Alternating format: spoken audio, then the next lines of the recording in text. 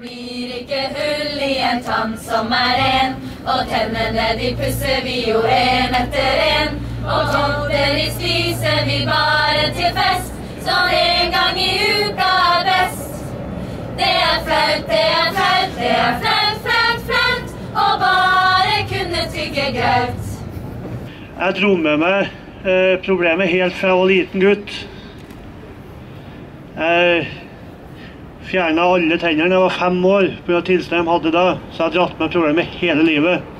Og på toppen så kommer den psykiske påvirkninga. Ikke føler du deg spesielt stolt, og du har ikke lyst til å vise deg frem.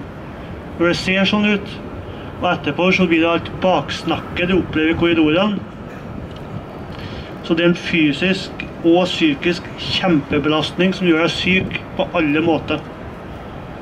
Nå ber jeg dere si etter meg. Tenna er en del av kroppen.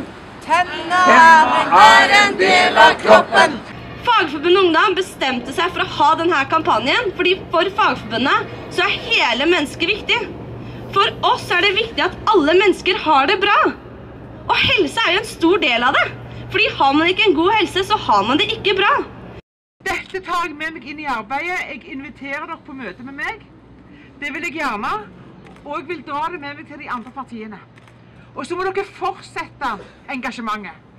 Jeg skal ta det med meg. Tusen takk.